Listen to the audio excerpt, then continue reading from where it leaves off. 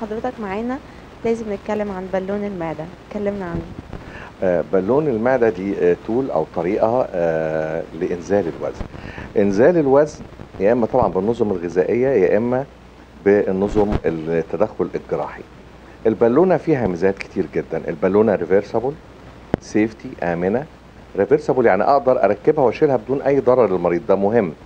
أمان المريض من أخطر ما يمكن لأن أنا بخس عشان يبقى الس- ال- البالون المعدة بتعتني بحاجتين عشان أركبها.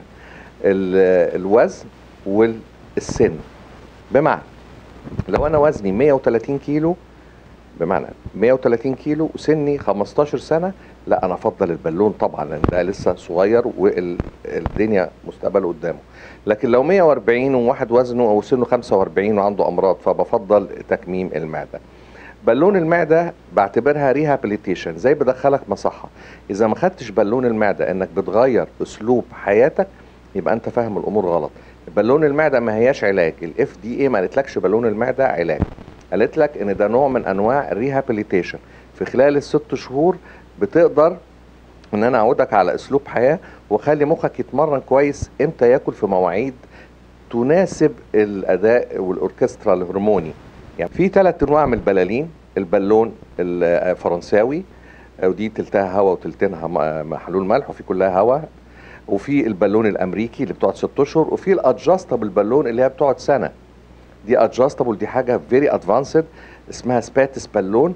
بالونة بقدر أكبرها وأصغرها حسب حجم المعدة ودي بتقدر توصل لأوزان 150 كيلو. أنا يعني البالون بحس إنها more safety بتريحني كطبيب.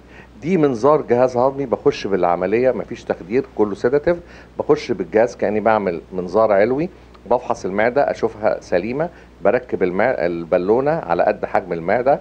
ال gastric sleeve عملية لا شك إنها عملية كبيرة ولكن بنحتاجها في الأوزان العالية. إيه العيوب يا دكتور اللي بتكون بتصاحب بالون المعدة أو تكميم المعدة؟ آه. إحنا قلنا البالون إن المريض لو ما خدهاش. إن هو أسلوب حياة أنا ب... يعني السؤال ده كويس إنك عدتيه تاني لو ما خدهاش. تغيير أسلوب حياة لا شك إن البالونة هيحصل فيها ارتداد نفس القصة حتى في التكميم يعني مثلا لو أنا بحب السويت والحلويات لا هينفع معاك تكميم ولا هينفع معاك بالونة المياه الغازية والشوكولاتة والآيس كريم هنعمل فيهم إيه ال- البالون المعده وال- وال gastric sleeve ينفعوا في مدمن الطعام food addiction ما ينفعوش في ال sweet أو ال emotional